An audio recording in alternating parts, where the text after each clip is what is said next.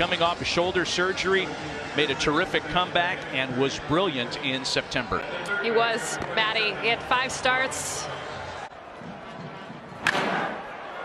Diaz with the ball, well hit to right field. Laureano back, he looks up, and that one is gone!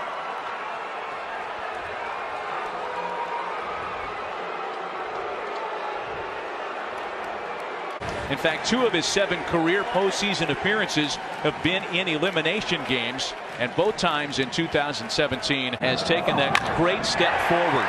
A shot into center field, and he's aboard to open the bottom of the first. And a called strike three taken by Laureano. And he misses on three and one. Got a run in the first. And Olson swings and misses at 98 miles an hour. Three and two pitch to Canha. Another breaking ball and it misses outside. Profar swings and sends it fly ball out to right. Garcia in the sun field to end the inning. On the ground for Semien, who makes a great play. Throw to first is not in time to get Duffy. And Garcia hits a rocket out to center field. That ball is smoked. Canha looks up.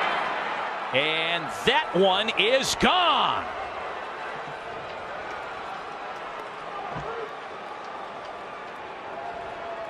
an amazing thing to do if you're trying to win. And you look at the game plan. To what Jason and Mike and Eduardo were oh. talking about. Same swing, same ball, same result. Yandy Diaz did it again. Pinch hitting for Matt Duffy. Marcus Semien tests out Brosseau at his new spot. Low throw, and it gets all the way to the wall. Semien thought about third. He's going to try it. The throw to third is off and Semiens at third. A different angle. It is very difficult in game to make that adjustment. Ramon Laureano with a little fly ball. Garcia makes the catch. Semien's going to score, and the A's are on the board. Pham with a drive out to center field. Canha on the move at the track, looking up, and that one is gone.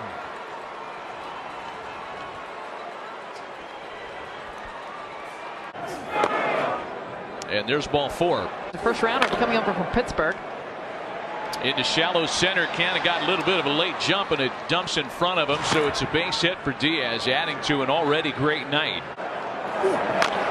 And Pham chops it to Chapman. Luzardo gets out of the jam, stranding a pair. The game is over. A swing and a miss by Grossman. Soft bouncer to short for Willie Adames. And Tampa Bay is one out away from moving on. And that'll do it. The Tampa Bay Rays are moving on to a date with the Houston Astros.